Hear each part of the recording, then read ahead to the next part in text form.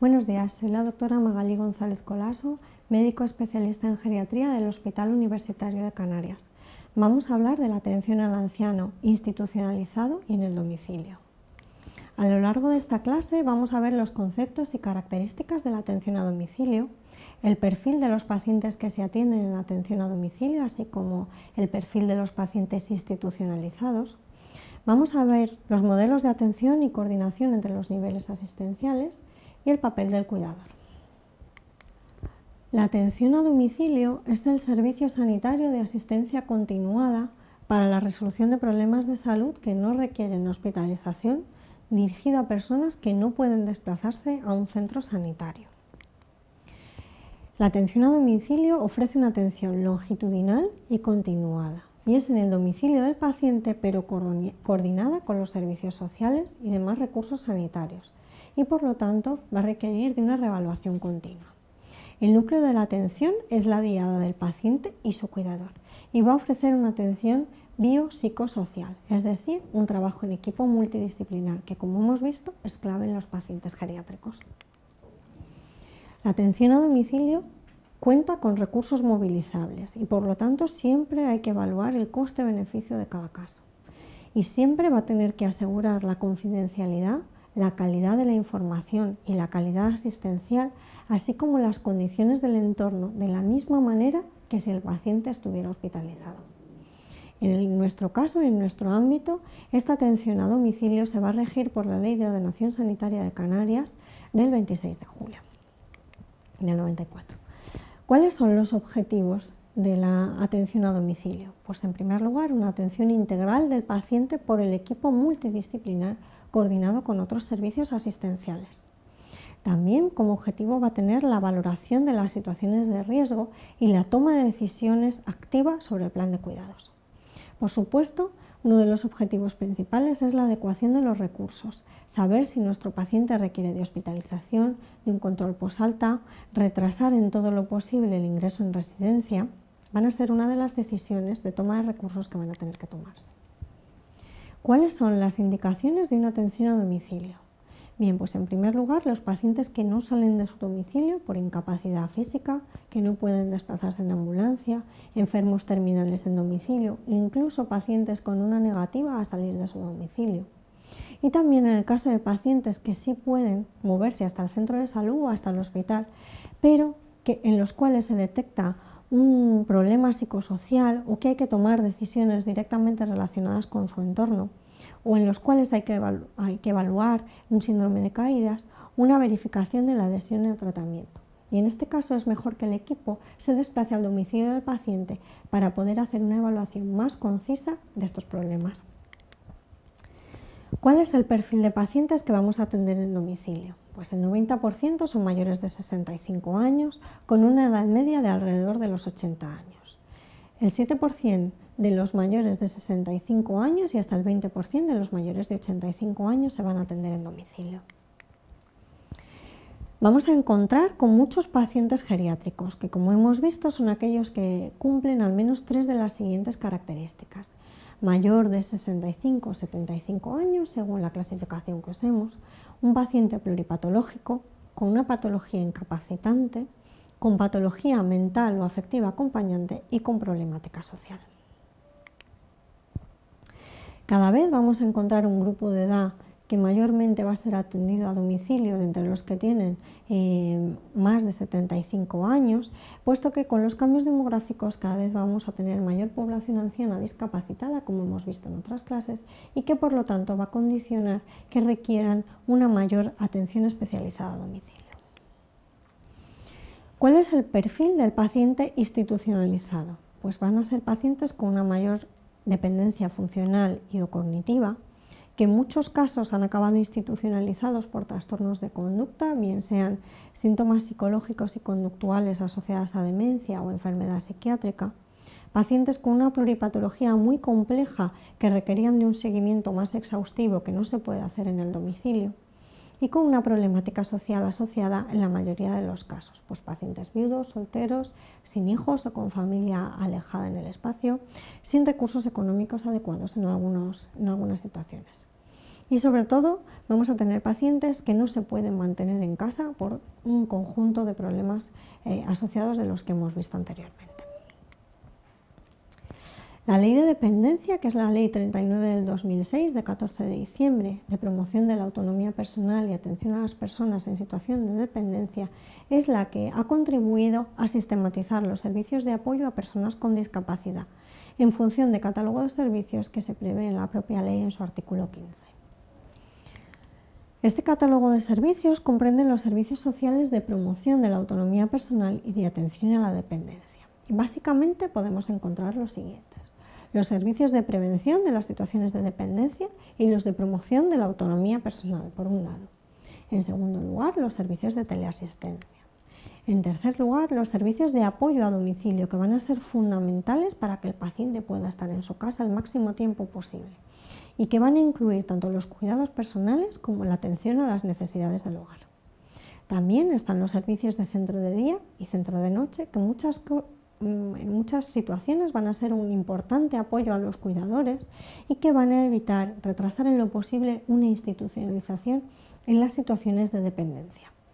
Dentro de estos servicios vamos a encontrar los centros de día para mayores, los centros de días para menores de 65 años, que en este caso no nos atañe, centros de día de atención especializada, incluso centros de noche en algunos casos concretos. También vamos a encontrar los servicios de atención residencial, como son las residencias de personas mayores en situación de dependencia y el centro de atención a personas en situación de dependencia en razón de los distintos tipos de discapacidad. Bien, estos son los servicios que nos va a proporcionar la ley de dependencia. ¿Cuál es el perfil del paciente institucionalizado? Pues como hemos visto es un paciente que va a ser especialmente conflictivo de mantener en el domicilio y que sin embargo esto entra en cierta manera en contradicción con lo que nos dice el Alto Comisionado para los Derechos Humanos de las Naciones Unidas, que es el derecho a vivir en comunidad que tienen todas las personas y que es difícilmente reemplazable por la atención institucionalizada. En este caso, lo que debemos valorar en cada caso es la situación personal de cada paciente, la situación social y cuáles son las necesidades del paciente y de su entorno, para poder ofrecerle la atención más personalizada y más adecuada en cada caso. Bien, em, está claro que las personas que más frecuentemente van a estar institucionalizadas son las personas eh, de más edad, sobre todo a partir de los 79 años, y sobre todo van a ser mujeres por una simple cuestión demográfica, ya que son aquellas que tienen una mayor supervivencia y que van a desarrollar un mayor grado de discapacidad vamos a encontrar que la principal razón para institucionalizar a un paciente son los motivos de dependencia mental, sobre todo en aquellos casos que se acompañan de alteraciones de la conducta, ya que son estos trastornos los que van a ser más difícilmente sobrellevables por los familiares del paciente. ¿Qué modelos de atención existen y cómo es la coordinación entre estos distintos niveles asistenciales? El modelo de referencia siempre, siempre va a ser el equipo de atención primaria, que está constituida por un médico, un enfermero y un trabajador social. Hemos visto que la mayoría de los pacientes van a estar en su domicilio y que el equipo de atención primaria es el que va a tener que asumir esa responsabilidad en la mayoría de los casos. El médico de familia, junto con la enfermera y el trabajador social, tienen que constituir un plan de cuidados que incluya una valoración general y de la evolución del paciente. Deben estar bien informados sobre la enfermedad y todo lo que rodean en, en cuanto a sus condicionantes socioeconómicos de la situación del paciente. Siempre van a tener que estar atentos a los síntomas y signos para que la familia también pueda estar eh, atenta a las posibles situaciones de alarma y van a intentar prevenir las complicaciones psicosociales de la enfermedad y del tratamiento que vayamos a establecer. Complementándose con este equipo de atención primaria a domicilio, vamos a tener la atención geriátrica a domicilio. En este caso, la mm, especialización de este servicio hace que no siempre sea eh, accesible en todas las comunidades, puesto que hay una distribución muy poco uniforme de los servicios de especialidad entre las distintas áreas eh, de nuestro Estado. Bueno, esta atención geriátrica a domicilio va a conformarse pues, por un especialista en geriatría y una enfermera en general, de forma coordinada con el equipo de atención primaria y con el hospital. Este grupo de atención geriátrica a domicilio va a atender sobre todo a los pacientes más complicados, es decir, aquellos pacientes geriátricos que van a presentar síndromes geriátricos, pluripatología, plurifarmacia y pacientes frágiles, es decir, aquellos que necesitan un plan de cuidados un poquito más especial y que tal vez vayan a requerir cuidados hospitalarios o acaben de salir de ellos para asegurar que su continuidad a domicilio sea eh, óptima. La herramienta principal de la actuación en atención a domicilio, tanto por los equipos de primaria como por los equipos de atención especializada, va a ser la valoración geriátrica integral. Ya hemos visto que vamos a tener que evaluar las cuatro esferas, tanto la física como la mental, la funcional y la social. Y en todos los casos, la coordinación entre los equipos de especializada y los equipos de atención primaria debe ser exquisita para evitar que los dos equipos trabajen en paralelo. Lo ideal es que se trabaje de forma coordinada, a ser posible con reuniones en las que se permita elaborar un plan y evaluar un seguimiento de todas las acciones que se pongan en marcha. Las reuniones de equipo, por lo tanto, deben ser interdisciplinares y va a ser especialmente importante en los pacientes posalta. ¿Por qué? Para planificar adecuadamente la alta hospitalaria, no solamente mediante el informe médico y de enfermería, sino favoreciendo el contacto telefónico directo, estableciendo los perfiles de atención más adecuados. Es fundamental la coordinación asimismo con los cuidadores y con los demás recursos que atienden al paciente, es decir, no solamente con la familia, sino también con los cuidadores a nivel profesional o a nivel eh, formal que vayan a estar en su domicilio para valorar tanto el beneficio como eh, qué es lo más conveniente según el entorno del paciente, favoreciendo la comunicación. Y siempre habrá que establecer de forma prioritaria cuáles son los criterios de derivación al hospital, tanto del paciente que está en domicilio como el paciente que está en una residencia. ¿Por qué? Porque la hospitalización en estos pacientes ancianos puede suponer el desencadenante de una serie de dependencia funcional, cognitiva, de desorientación que puede provocarle más daño al paciente que permanecer en su domicilio con los cuidados adecuados. Y por lo tanto es fundamental determinar a priori en qué casos concretos se va a beneficiar realmente al paciente de estos ingresos hospitalarios. El papel del cuidador, como estamos viendo, es por lo tanto fundamental es la clave en la provisión de los cuidados y más en nuestro territorio nacional por las particularidades de, de, las relaciones sociofamiliares en los que nos movemos y son clave en la elaboración del plan terapéutico. El cuidador principal es aquella persona que asume las responsabilidades reales y los que tienen la mayor disposición a cuidar al enfermo no son solamente aquellas personas que se van a encargar de dar la medicación o de llevarle al médico, sino que en muchos casos van a asumir la responsabilidad de las decisiones que se van a tomar relativas al paciente. Y por lo tanto, lo mejor es identificarle cuanto antes y establecer una comunicación eficaz con ellos. Hay que reconocer siempre su rol y saber si se identifica como tal. En el caso de que no se identifique como un cuidador principal, hay que hacerle saber cuál es su condición ¿Por qué? Porque en muchos casos va a estar sobrepasado por la, por la situación y es mejor que podamos estar prevenidos y que él también pueda asumir su papel cuanto antes para poder poner soluciones a las situaciones de estrés que puedan surgir.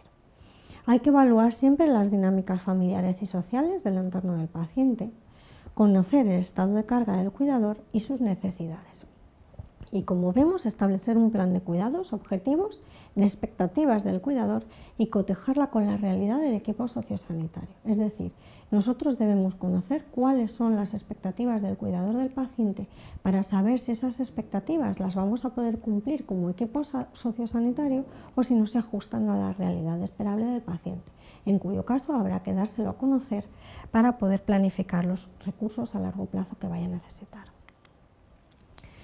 También tenemos que intentar hacer unas tareas formativas mínimas, tanto de higiene como de nutrición, como de movilización.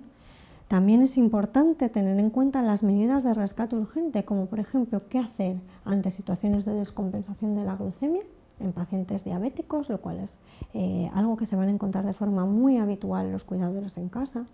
¿Qué hacer ante las alteraciones del sueño, las alteraciones conductuales o ante situaciones patológicas tan habituales en los pacientes geriátricos como es el estreñimiento o las caídas? También debemos informar a los cuidadores de los pacientes cuáles son las situaciones de alarma ante las cuales sí que debe llamar a los recursos eh, sanitarios de forma urgente. En conclusión, vamos a decir que la atención a domicilio es un recurso imprescindible en la población anciana y que adecuadamente dirigido y gestionado puede mejorar de forma sustancial la calidad de vida del paciente y sus cuidadores. La clave siempre va a ser la comunicación y la organización adecuada entre los niveles asistenciales y con la propia diada del cuidador y su paciente. Muchísimas gracias.